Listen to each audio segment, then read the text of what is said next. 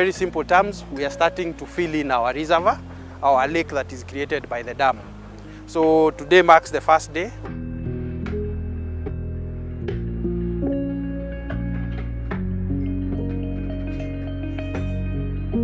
Thiba Irrigation Dam in Rukenya, Kirinyaga County is now impounding water and soon it will have enough to supplement rice production in Mwea Irrigation Scheme, some 22 kilometers from here. We have been able to secure their, their water uh, supply cycles and we increase reliability and therefore we are sure with this project that that project, the Mwea scheme, will never experience any more crop loss because of droughts. But for that to happen, the reservoir must be filled with water, creating an artificial lake.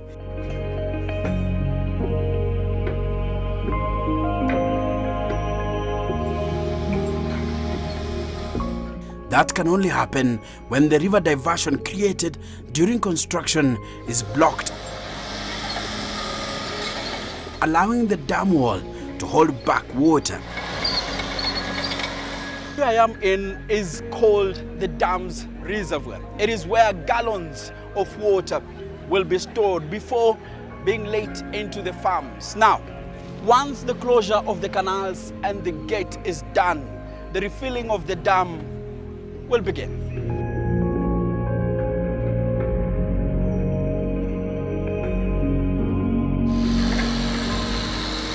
First, the canal is closed.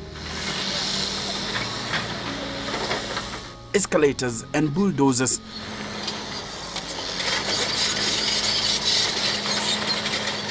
push and throw rocks into the canal opening.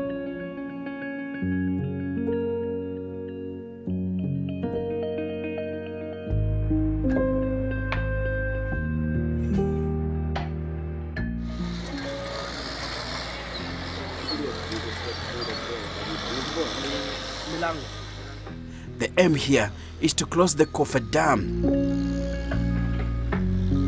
The area here.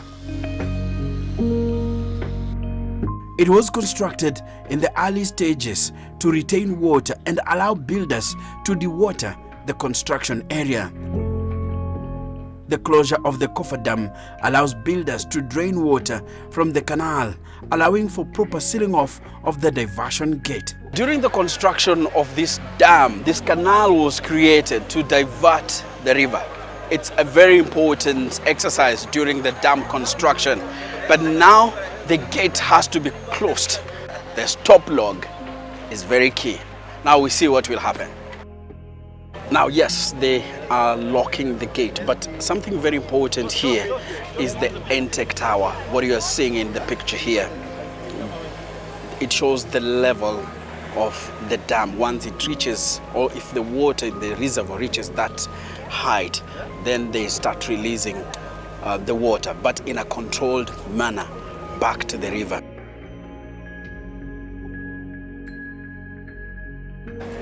So as you can see, that is what we call the stop log.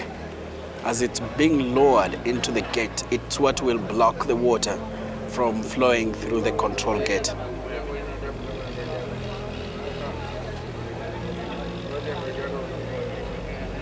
There, that is a gate. Once the log hits the floor there, then water will be stopped.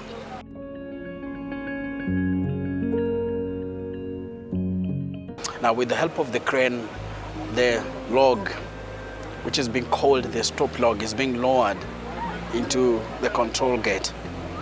And once it hits the base, then it will block uh, the water from moving through the dam wall. That is what is happening now. So today marks the first day. We are going to close the river for a number of days. There will be no flow on the downstream part of the river because our uh, intake point is a bit uh, higher uh, from the level of the river. So we require about seven days to get to the uh, abstraction point of our intake.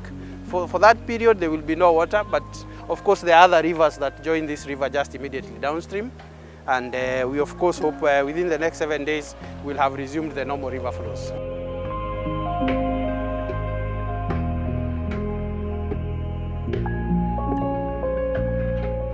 Uh, what you are seeing now, we've been able to block the river uh, so that we uh, install our stop log, which means we've closed our diversion system. When we blocked the river, of course, the flow uh, started, uh, the impoundment started rather. So that is the creation of the lake. And that's why we're able to see now the small lake forming. Eventually, as the levels get higher, the lake will be, the area covered by water will be larger. Uh, up until we get to the intake tower, and then we'll resume the, the normal reservoir water, uh, flows in the river. So for us to fill the rest of the part, we'll be controlling the amount of water we are releasing.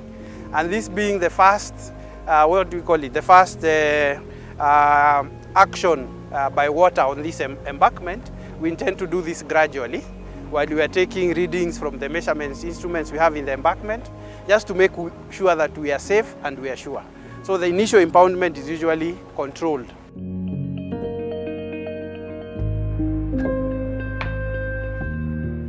Well, a few minutes after the control gate was closed, I ran here, and as you can see, water is flowing back into the reservoir area.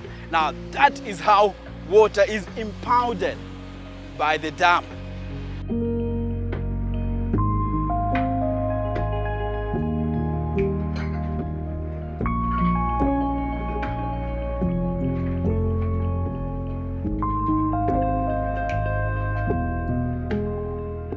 It is very fulfilling and also today marks a great day in history as one of the largest dams in Kenya has started uh, filling. Now I'm walking on top of the dam crest, which is the upper part of the dam wall, some 40 meters above the ground. Now the dam wall, which is one kilometer long, is what will be holding back some 15 million cubic meters of water and harvest it for irrigation. Now this is the reservoir. This is where 15 million cubic meters of water will be stored. The whole essence is to double up irrigation in Mwea irrigation scheme and that will be the game changer as far as rice farming is concerned. The goal is that this water will help the farmers, one, to have two production uh, cycles a year, and then two, we are also intending to expand the area of irrigation by another 2,000 hectares. Which is a big plus in terms of food security and uh, economically also very good because you can ask yourself what has been happening with that uh, production, that, uh, that ended production that we are going to get. We haven't been importing.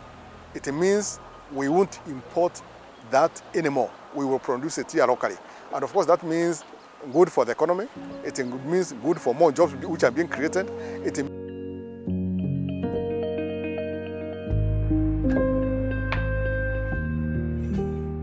Mwea irrigation scheme produces 80,000 out of the 120,000 metric tons of rice produced in the country. And now there is hope for even more. Our focus now as the National Irrigation Authority is to carry out water management. Yes, now we have the water, but now we also need to manage it so that the farmers are able to benefit from it. Of course, you can have the water, and if you are not careful, you can, uh, you, you, you, can uh, have it wasted. Uh, so when I say water management, is to ensure that every drop that is uh, compounded here, it's used for the right purpose, and that is for the rice production, among other agricultural productions within this. City. The construction of this dam by the National Irrigation Authority has been done through a cooperation between the Kenyan government and the Japan International Cooperation Agency, JICA. You can see from the faces of everyone, everyone is happy. There's a reason for that, because if you've interacted with Japanese um, um, products, there's one thing that we put emphasis on, quality. So this dam must be done to standard under the uh, guidance of Nippon Koei, which is a Japanese company, which was the consultant in this, pro this project. So the quality that has come out of this project, also we have to appreciate the contractor which has done, done a fantastic work to produce this quality. So what makes me happy is that this has come to what it is today, completion. But at the same time, it has not been compromised in terms of quality. Yeah, we see a quality work that has been produced out of all this cooperation we've had in this project. The commissioning of this dam by the president is expected once the water level in the reservoir hits the top of the intake tower. My name is Enoch and I am the Kenyan historian.